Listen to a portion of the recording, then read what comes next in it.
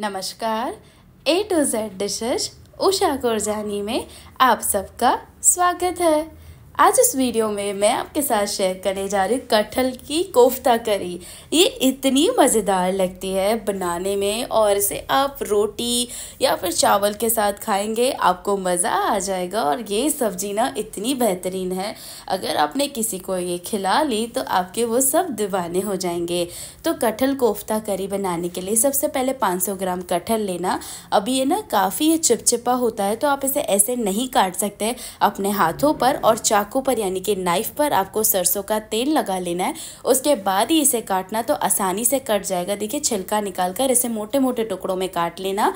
उसके बाद गैस को ऑन करके कुकर रख देना इसमें दो ग्लास पानी डालकर ये कटहल के टुकड़े चुटकी भर नमक और हल्दी पाउडर डालकर इसे अच्छे से मिक्स कर लेना। मिक्स करने के बाद ना कुकर का ढक्कन देते हुए इसे हम सिर्फ़ दो विसल यानी कि दो सीटी आने तक पकाएँगे। जैसे ही पक जाए प्रेशर को निकलने देना और बस इसे बाहर निकाल कर ठंडा कर लेना।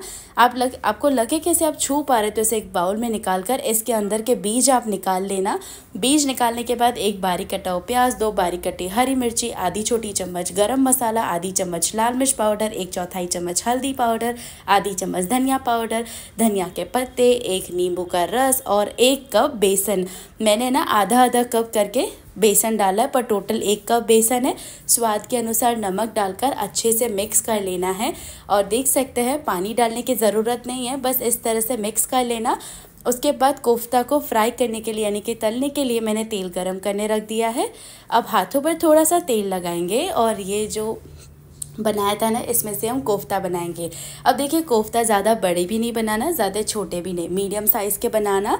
उसके बाद इसे एकदम अच्छे गरम तेल में डालकर ऊपर से सुनहरे हो जाए, एकदम क्रिस्पी हो जाए, तब तक इसे फ्राई कर लेना, यानी कि तल लेना। यहाँ पर आप देख सकते हैं, अच्छे से फ्राई कर लिए, इसे एक प्लेट में निकाल लेंगे।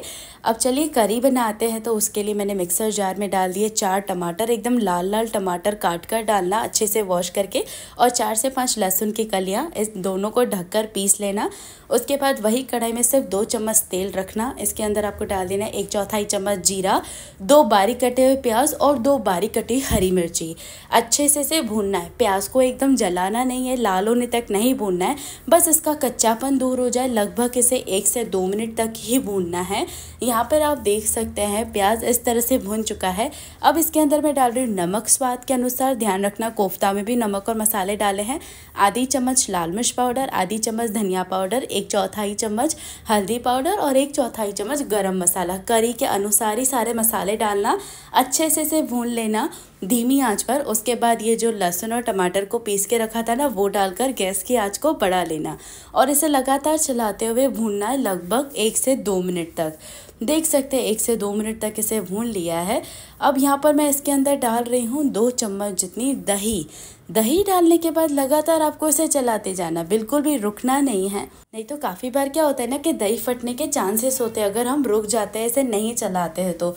तो बस इस तरह से मिक्स हो जाए ना, उसके बाद अब इसके अंदर मैं डाल रही हूँ अमूल फ्रेश क्रीम आप घर की ताज़ी मलाई भी डाल सकते हैं, जो दूध के ऊपर जम जाती है। एक चम्मच जितनी अमूल फ्रेश क्रीम डालना, या घर की ताज़ी मलाई।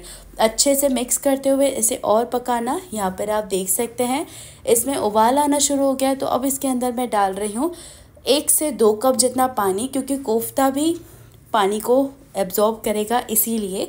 तो एक से दो कप पानी डालने के बाद ये जो हमने कोफ्ता बना के रखे थे, वो इसके अंदर आपको डाल देने हैं। और बस इसे अच्छे से मिक्स करना है। मिक्स करने के बाद इसके अंदर आप डालनी है आपको आधी चम्मच जितनी कसूरी मेथी, अच्छे से मसल कर डालना। इससे ना काफ़ी अच्छा स्वाद आता है और थोड़े से धनिया के पत्ते डालकर इसे अच्छे से मिला लेना और पाँच से छः मिनट तक इसे पकाना है। इसे ढककर नहीं पकाना है इसे खुला ही पकाना। और यहाँ पर लगभग पाँच से छः मिनट हो गए और ये कटहल की कोफ्ता करी बनकर तैयार है। आप देखिए ये कितनी बेहतरीन लग रही है, सच बता रही हूँ ना, मलाई कोफ्ता तो आप खाते ही रहते हैं, कभी ये खा के देखिए, इतनी क्रीमी इतनी मज़ेदार। मतलब अभी मैं आपको बता रही हूँ ना, तब भी मुँह में पानी आ रहा है। अब आप चाहे इसे गर्मा गर्म रोटी के साथ खाएँ या चावल के साथ, ये आपके ऊपर है। मैं तो जब भी ये बनाती हूँ, मैं हमेशा चावल बनाती हूँ, क्योंकि मुझे ये चावल के साथ अच्छी लगती है। पर आप इसे गेहूँ के आटे की रोटी के साथ खा सकते हैं। बहुत बहुत बहुत ही बेहतरीन लगती है। तो इसे ट्राई करना और मुझे कमेंट्स में बताना कि आपको रेसिपी कैसी लगी है।